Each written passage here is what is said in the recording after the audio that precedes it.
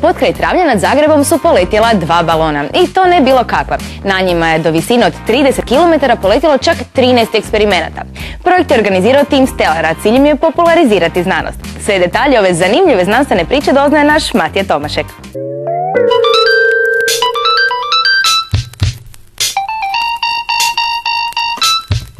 Tu se nalazi dio opreme koji se koristi za lansiranje i praćenje balona sa sondama. E, dio od ove opreme ide baš na sam balon. Tu su čak i sami baloni sa spadobranima.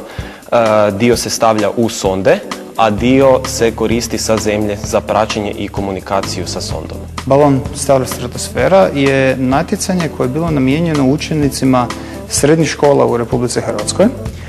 Um, cilj je bio da učenici se organiziraju u timove od do šest članova, od čega su četiri mogli biti učenici, dva profesori, mentori, studenti na fakultetu i tako. Uh, oni bi napravili eksperiment mase do 150 grama, kojeg bi potom međunarodna organizacija Team Stellar uh, digla u stratosferu.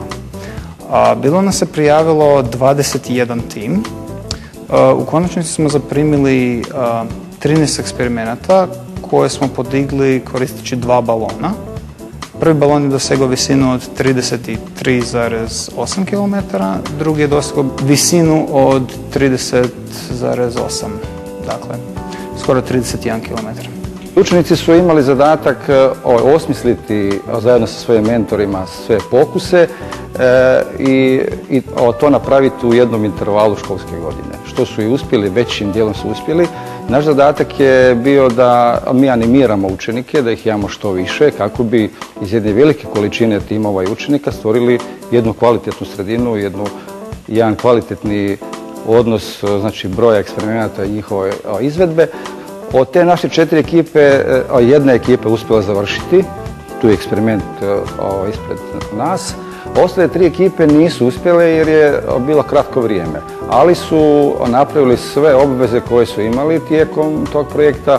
Po prvi put u svijetu je napravljen wireless stream, dakle Wi-Fi stream u punoj HD rezoluciji sa visinom od 30.8 km. To smo radili u suradnji sa Carnetom koji je streamao dakle, od samog trenutka podizanja balona do visine kad je pukao i onda dok se sonda rotirala kad je izgubila signal. Um, to je dakle po prvi put u svijetu da je ostvaren signal te rezolucije koristeći rekli bismo javno dostupne mreže. To je znači fotonaponska čelija jedna koja ovo, mjeri sunčevo zračenje E, i unutra se nalazi jedan, e, znači, znači unutar ovog, dijela se nalazi jedan, e, senzor koji mjeri temperaturu i jedan mikrokontroler koji sve to mora obraditi, smjestiti u memoriju da bi se kasnije moglo pročitati, znači svi mjerni podaci se moraju pročitati nakon eksperimenta. Ovo ovdje je dio opreme koji se stavlja baš u samu sondu i koristi se za praćenje balona. E, ovdje recimo imamo e, GPS e, trekere, to, je uređaj koji putem GPS-a prati, prati sam, samu sondu.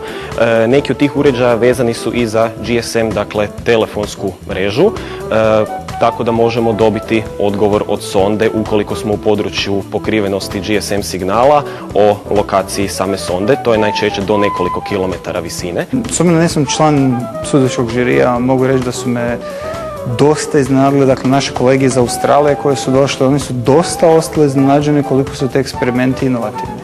Recimo, jedan eksperiment je bio mjerio viskozitet goriva za avione, kako se visina mijenja jedan eksperiment je bio mjerio brzinu zvuka, kako se gustoća zraka mijenja, dakle što visina ide više.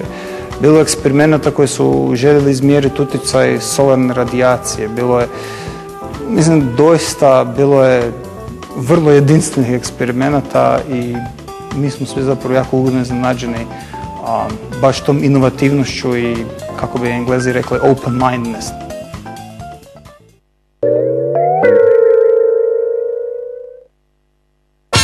Come on, yeah.